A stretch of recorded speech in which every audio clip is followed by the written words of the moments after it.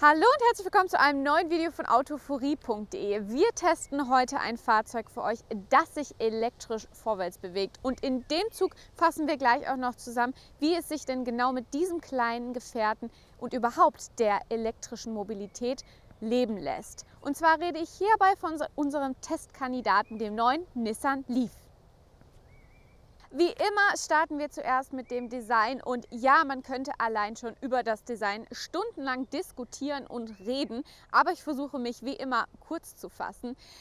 Es ist definitiv aussagekräftig, das stellen wir einfach mal vorweg. Und es ist definitiv ein Design, was man entweder mag oder eben gar nicht. Was direkt an der Front im wahrsten Sinne des Wortes heraussticht, sind die Scheinwerfer. Die sind nicht nur sehr lang gezogen und sehr markant, sondern sind tatsächlich auch oben kuppelförmig aufgesetzt. Man könnte jetzt denken, das Ganze ist designtechnisch sozusagen als Feature gedacht. Nein, es ist der Aerodynamik angepasst. Und genauso ist es mit diesen kleinen Hobeln hier oben, die im ersten Moment gar nicht so auffallen. Generell, alles an diesem Fahrzeug hat einen aerodynamischen Sinn. Trotzdem muss man natürlich sagen, dass genau diese aerodynamischen Details auch den Look vom ganzen Wagen ausmachen. Darum fasse ich das einfach mal ins Design mit rein. Hier vorne, hinter dieser kleinen Klappe, verbirgt sich dann nicht nur das Nissan-Logo, sondern auch der eigentliche Anschluss, womit wir dann das Fahrzeug laden. Dazu aber später mehr. Wir schauen uns erstmal die Seite an. Im Gegensatz zu der Front sehen wir dann an der Seite nämlich nicht mehr ganz so viele Details, die direkt ins Auge stechen. Wir haben lediglich so ein bisschen Chrom hier an den Türgriffen, dass man so ein bisschen Design wieder aufgreift. Und wir haben auch nicht sonderlich aufwendige Felgen oder gar herausstechende Felgen.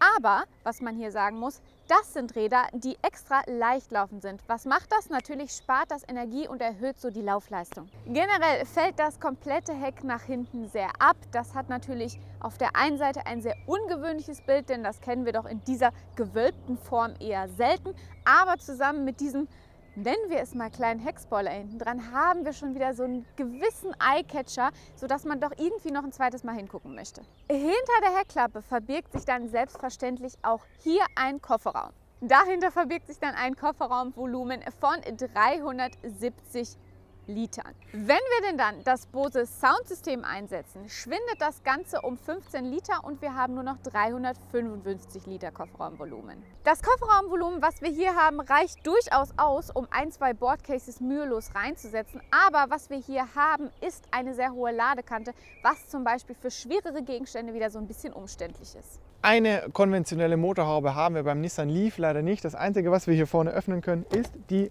Ladeklappe und da sehen wir auch schon zwei Möglichkeiten. Hier einmal die Möglichkeit mit 3,3 Kilowatt zu laden, also beispielsweise an der Haussteckdose mit einem mitgebrachten, man nennt das immer ganz liebevoll Backstein. Das heißt, den steckt man dann einfach ein und dann lädt er relativ ja, lange, wenn er leer ist.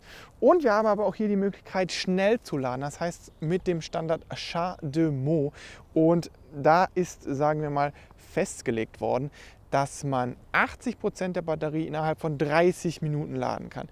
Sagen wir mal, in Realität hängt das natürlich auch immer vom Netz ab, wie viel Saft wirklich gerade im Netz drin ist. Heißt, bei uns zum Beispiel hat es bei einem Ladestand von knapp 25 Prozent, beziehungsweise knapp zwischen 20 und 25 Prozent, fast eine Stunde gedauert. Also das ist auch nur eine Normangabe, die man nicht immer für voll nehmen kann. Als Antrieb im Nissan Leaf haben wir hier einen Wechselstrom-Synchronmotor mit 80 kW Leistung. Das entspricht ungefähr 109 PS. Aber das Interessante und auch das Spaßige an einem Elektroauto ist, dass wir das maximale Drehmoment von 255 Newtonmeter direkt ab Drehzahl 0 haben. Das heißt, sobald wir das Gaspedal durchtreten, haben wir volles Drehmoment und das macht den Leaf zwar von 0 auf 100 mit 11,5 Sekunden jetzt nicht so super schnell, aber im Stadtbereich von 0 auf 50 km/h, da schlägt er so manchen Supersportwagen. In diesem speziellen Fall haben wir auch die große Batterie, das heißt 30 Kilowattstunden, womit er dann theoretisch 250 Kilometer weit kommen könnte. Der normale Leaf, der darüber hinaus 25 Kilogramm leichter ist, der hat nur 24 Kilowattstunden, aber der kommt dann rein theoretisch auch 200 Kilometer, was im Prinzip für diesen theoretischen Fahranteil eines Menschen pro Tag ausreichen würde. Beim Nissan Leaf, wie auch bei vielen anderen Elektrofahrzeugen, kann man die Batterie entweder direkt dazu kaufen oder auch leasen. Und ein Spezialist für Elektromobilität hat mir erklärt, dass es sich für den Privatmann eher lohnt, die Batterie zu kaufen, aber für einen Geschäftswagen, der wahrscheinlich dann eher weit, weit weniger als fünf Jahre im Fuhrpark bleibt, die Batterie nur zu leasen. Denn das macht einen enormen Preisunterschied von je nach Elektrofahrzeug von bis zu 5000 Euro. Im Leaf Platz genommen sieht man vor allen Dingen eins und zwar wenig Verspieltes. Aber ich mag sowas ja immer ganz gerne, wenn alles schön clean und ordentlich gehalten ist. In Sachen Materialien haben wir hier zum einen viel Plastik, klar, das spart ja auch Gewicht, aber auch Hochglanzoberflächen, die dann wieder ein bisschen was Elegantes mit reinbringen. Und die Sitze sind tatsächlich aus Biostoffen gefertigt und zwar aus 100% nachwachsendem Rohrzucker. Wir haben hier Sitzheizung, wir haben ein vollständiges Infotainment-System und wir haben eigentlich alles, was wir ansonsten auch erwarten würden. Wie immer habe ich jetzt auch mal hinten Platz genommen und der Fahrersitz ist auf Fabians Körpergröße von ca. 1,80 Meter eingestellt. Ich bin und bleibe 1,70 Meter.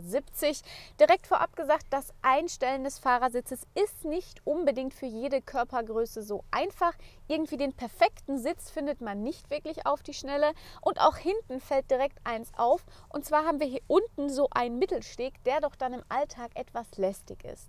An sich habe ich mit meinen 1,70 Meter aber genügend Platz hier sowohl vom Kopf her als auch im Kniebereich. Ich kann mir aber vorstellen, dass man dann, sagen wir mal, auf die 1,90 zugeht, schon etwas Beklemmungen bekommen wird.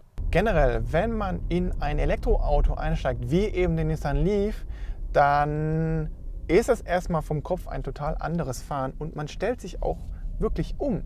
Denn man kann nicht einfach so fahren, wie man es gewohnt ist. Man fährt einfach anders. Man stellt sich um. Wir haben hier zum Beispiel die Möglichkeit zwischen Eco und Normal zu wählen. Das heißt, in Eco hat er auch nur die, ich würde sagen, drei Viertel bis unter drei Viertel der Leistung. Und wenn wir diesen Eco-Knopf dann drücken, das heißt aus dem Eco-Modus rausgehen, haben wir bei gleicher Pedalstellung eben vorher erwähnte volle Leistung und dann geht er auch ordentlich zügig voran. Das heißt, insbesondere im Stadtverkehr 0 bis 50 ist er extrem sportiv unterwegs.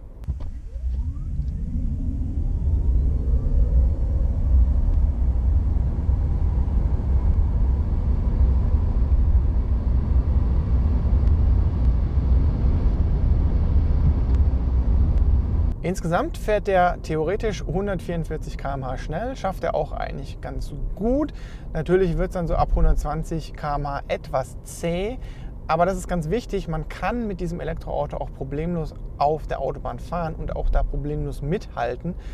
Gerade wenn es so, sagen wir mal, vom Stauende weggeht, sind die Leute doch beeindruckt, wie schnell man ohne Geräusch aus dem Stau rauskommt. Vom Verbraucher ist es, naja, man muss so ein bisschen umrechnen. Also die Anzeige sagt, wir haben einen Durchschnittsverbrauch von 15 Kilowattstunden pro 100 Kilometer.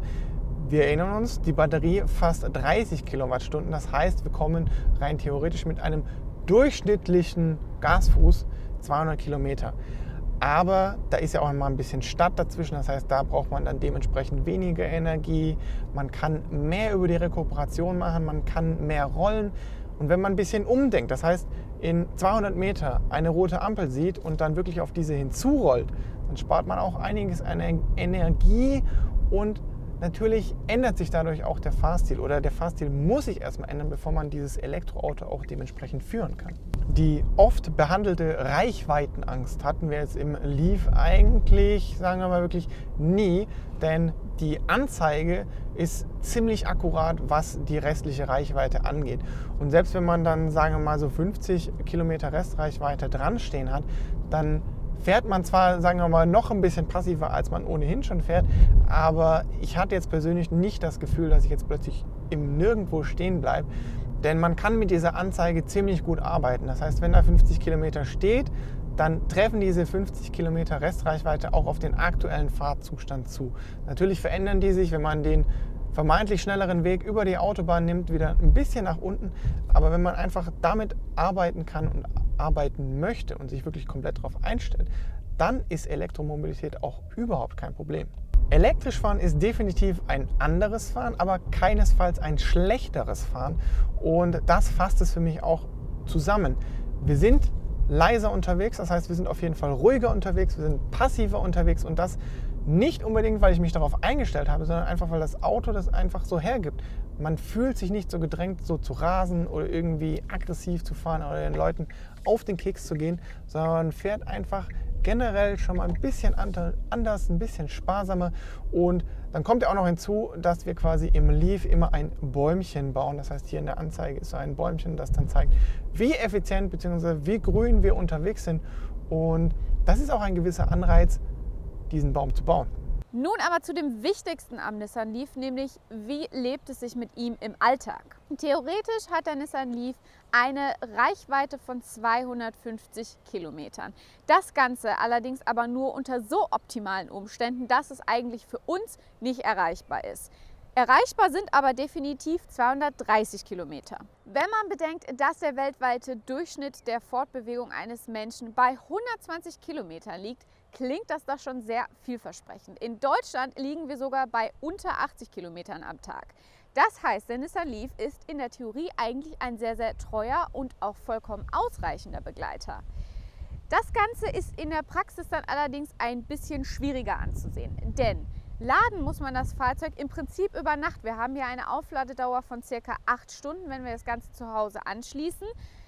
Da kommt dann für mich persönlich eher die Nacht in Frage oder Tage, in denen man eventuell gar nicht unterwegs ist.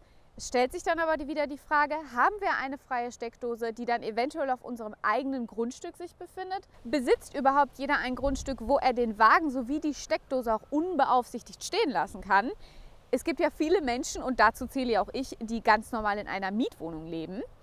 Weiterhin ist das dann die Frage mit den Tankstellen, die wir in der Nähe hatten. Wir haben das Ganze jetzt über zwei Wochen getestet und ich finde, es war zum Teil sehr ernüchternd.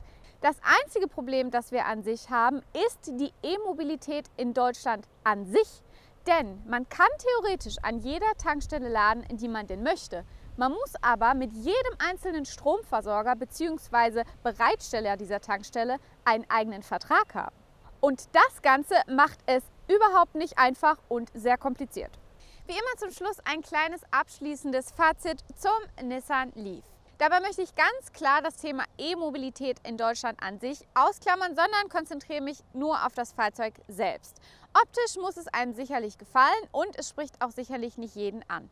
Wenn dem aber so ist, dann ist der Nissan Leaf auf jeden Fall einen Blick wert, denn er hat Gadgets, die andere nicht haben und er ist sehr schön im Handling.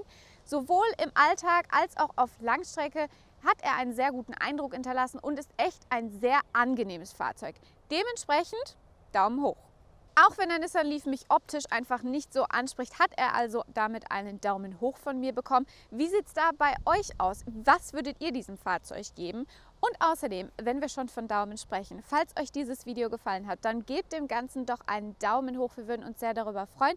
Und falls ihr uns noch nicht abonniert habt, dann tut das doch einfach. Damit bleibt ihr immer auf dem neuesten Stand. Und dann sehen wir uns auch beim nächsten Mal wieder. Ich würde mich freuen. Ciao! Wenn man bedenkt, dass ein Mensch über die weltweit gesehene Deutschlandquote, Rudel gucken,